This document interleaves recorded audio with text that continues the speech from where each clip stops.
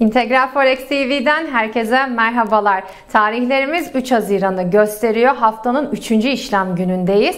Piyasaların geneline baktığım zaman aslında konuştuğumuz konu başlıkları hemen hemen aynı. Sadece Amerika'daki gelişmeler bir miktar tabii ki yeni bir hareket karattı, e, yeni bir hareket kattı piyasalarda. Bununla beraber bugünün veri takvimi biraz daha yoğundu tabii. Sabah saatlerinde Türkiye'den Mayıs ayı enflasyonunu aldık. Öğleden sonra yine PMI verileriyle devam ediyor olacağız. Ama her zaman söylüyoruz son yayınlarımızda özellikle bu yaşanan gelişmelerden kaynaklı olarak verilerin etkisi biraz daha fiyatlamalar üzerinde sınırlı kalıyor.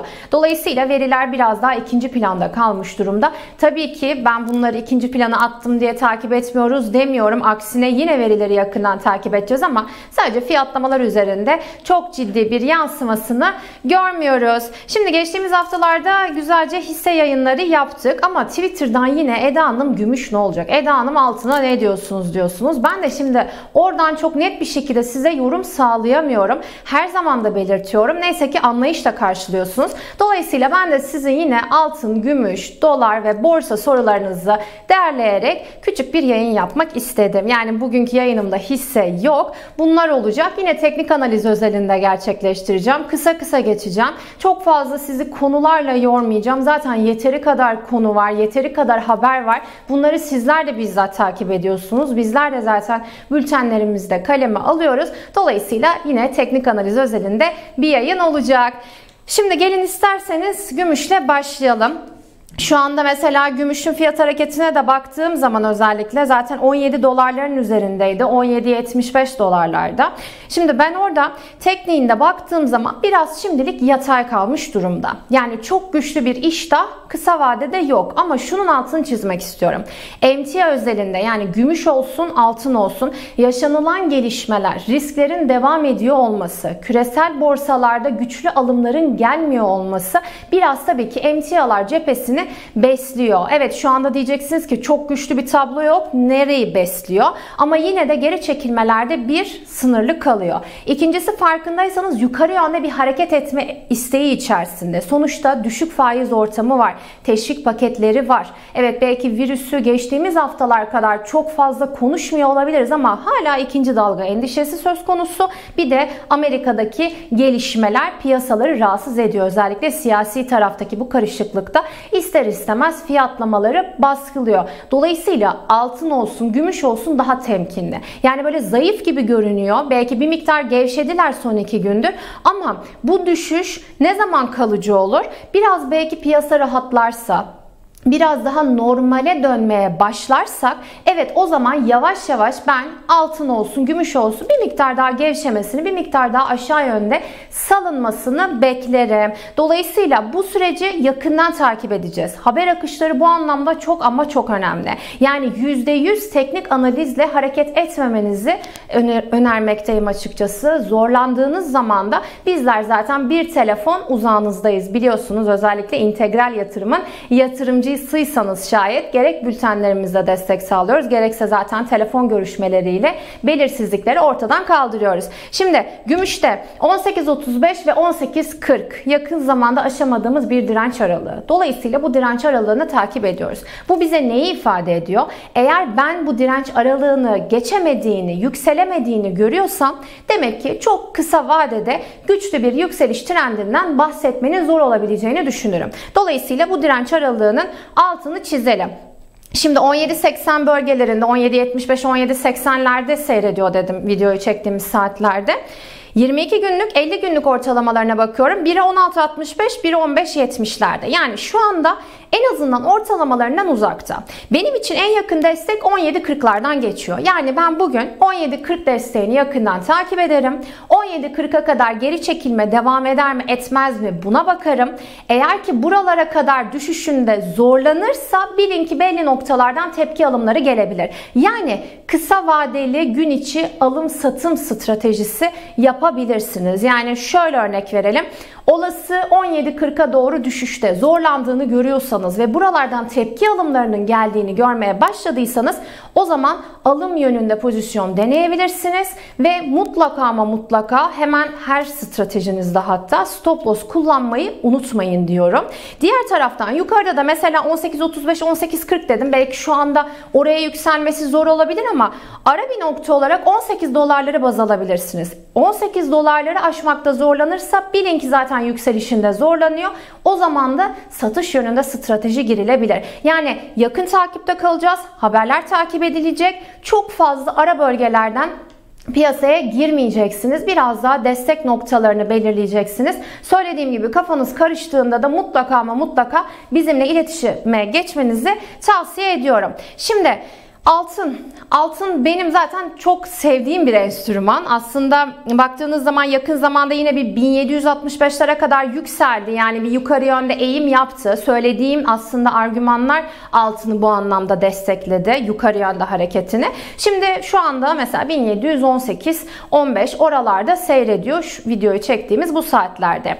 Az önce söyledim gümüşü anlatırken. Her ikisinde de aşağı yönde bir salınma var. Dün mesela ABD endeksleri Avrupa güzel kapattı kapattı. Bugün de en azından biraz daha iyimser bir durum söz konusu. Ama risk iştahı güçlü diyemem.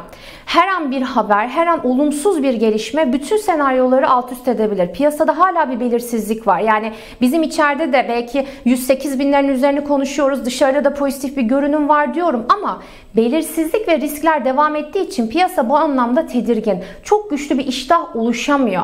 O yüzden emtia özelinde de temkinli kalmanızı öneriyorum. Yani düşüşler alım yönünde değerlendirilmeli. En azından şimdilik alım yönünde değerlendirirsiniz. Mutlaka belli dirençlerden yine çıkış yapabilirsiniz. Bu tabii ki yatırımcının profiline göre değişiklik gösteriyor.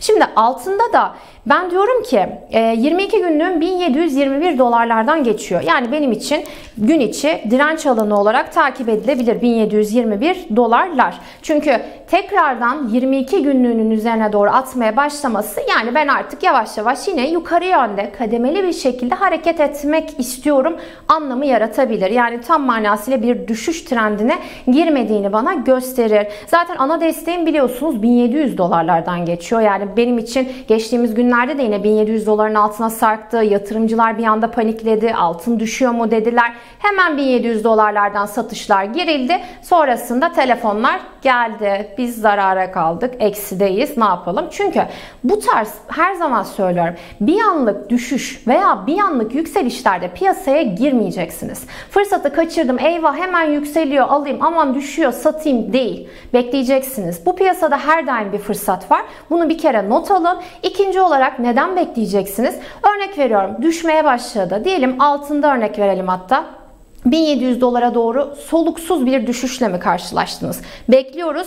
1700 dolarları izliyoruz. Eğer ki 1700 dolarların altına gerilemekte zorlanıyorsa o zaman oralardan alım yönünde bir strateji deniyorsunuz. Yani düştüğünde yorulduğu için artık bir miktar yukarı yönde tepki verecek anlamını getiriyor bize. O da sizin için bir alım yönünde fırsat olarak değerlendirilebilir. Söylediğim gibi mutlaka ama mutlaka stratejilerinizde, pozisyonlarınızda stop loss koymayı unutmayın.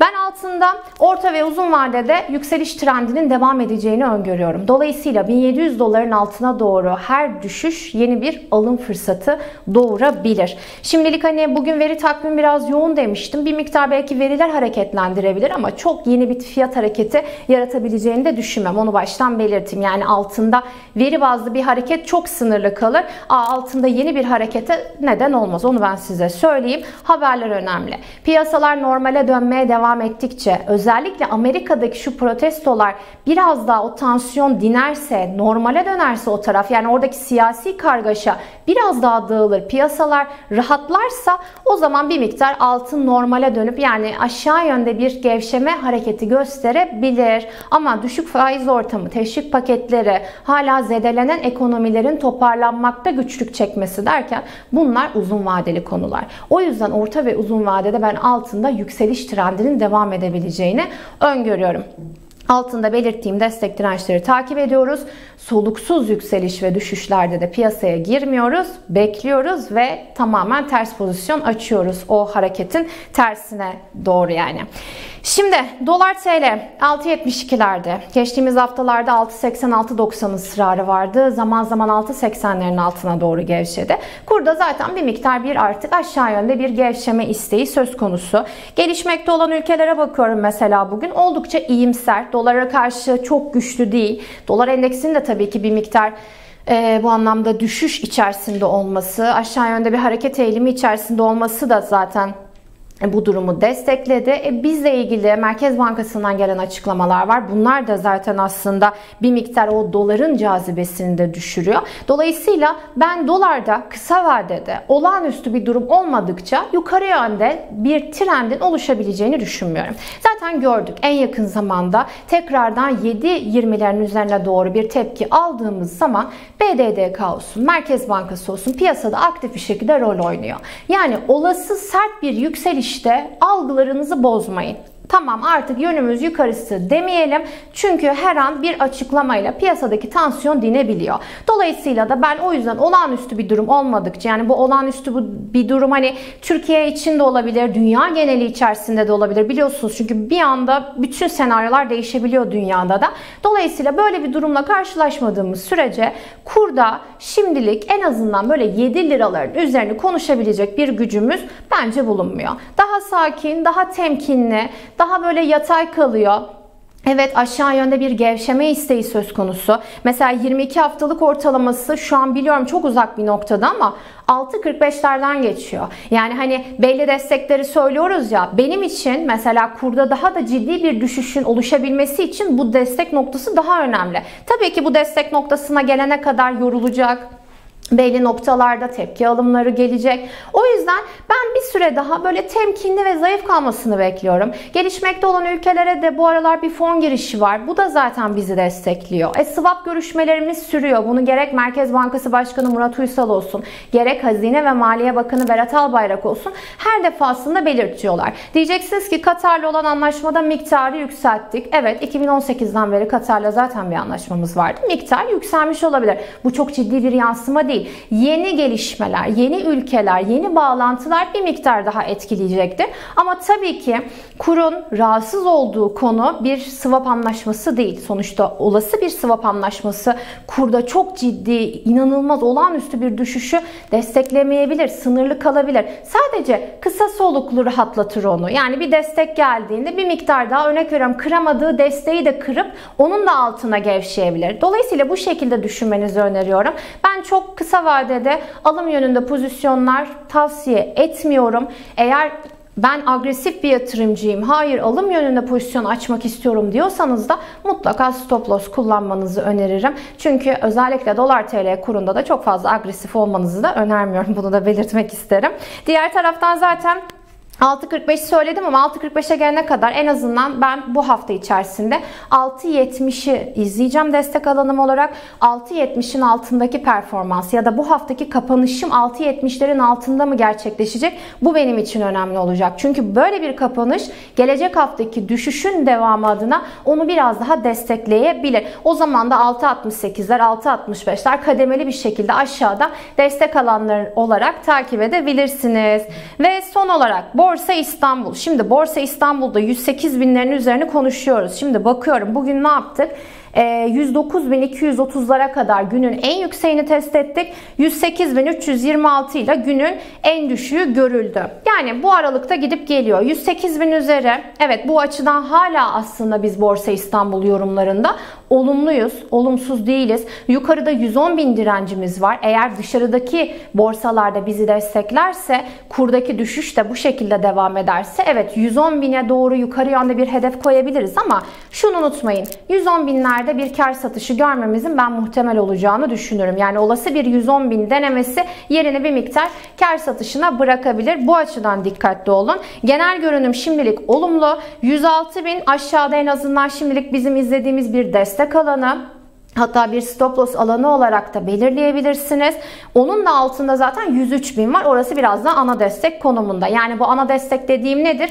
Ana resme bakarım. Ana resimde 103 binin üzerinde miyiz? Üzerindeyiz. Olası satışlar hala 103 bine kadar karşılanıyorsa demek ki ben bir satış baskısından bahsetmem. Böyle bir yorum getirmem muhtemel. Diğer taraftan bankacılık endeksi de önemli. O da 126 binlerin üzerinde. Yani orada da aslında biraz bankalar da destek verirse bu hareketi bir miktar zaten 110 bini Borsa İstanbul'da denememiz daha da rahat olabilir. Yani o yüzden biraz bankacılık endeksini de yakından takip ediyor olacağız.